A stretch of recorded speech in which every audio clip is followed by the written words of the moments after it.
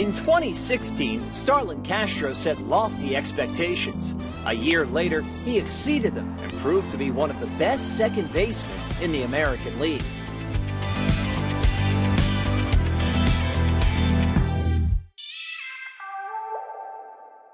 Much like 2016, Castro came out of the gate fast in 2017.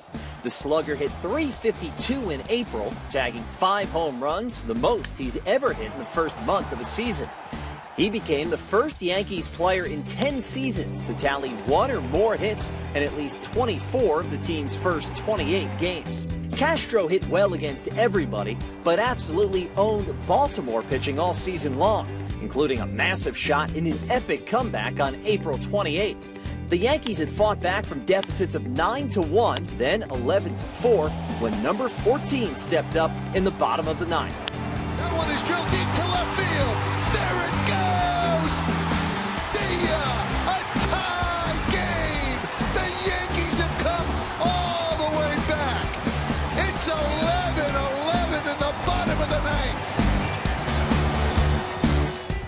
Overall, Castro hit 365 in 18 games against the Orioles, adding 18 runs and 17 RBI.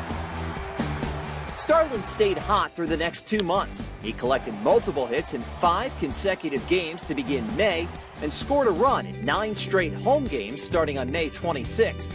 He also homered in three consecutive games for the first time in his career from June 9th to the 11th, all of which were Yankees wins. Despite a DL stint to finish off the season's first half, Castro received his fourth All-Star bid and first with the Yankees. It was also his first All-Star nod as a second baseman.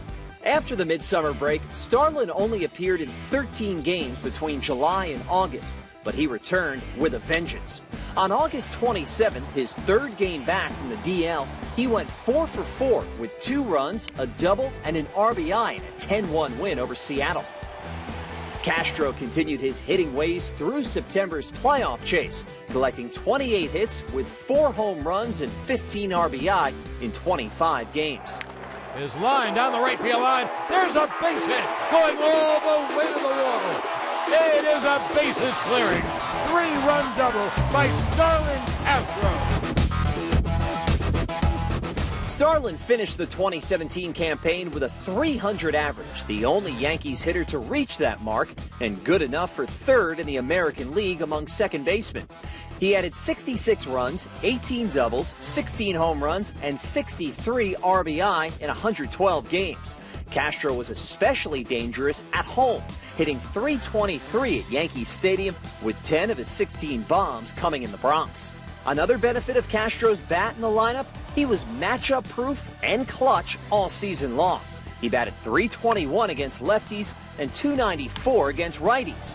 Tack on a 308 average with bases loaded and 21 two out RBI. He was a hitter that could be trusted in all situations. Swinging on 3 0 for a three run home run is Starlin Castro. In the field, Castro was equally dependable, notching just 11 errors, the second lowest total of his career. He also played a part in 46 double plays, most with shortstop Didi Gregorius. The duo formed one of the best middle infield combinations in all of baseball. The Yankees have found themselves a long-term answer at second base. Starlin Castro is not only flash power at the plate, but he hits for average.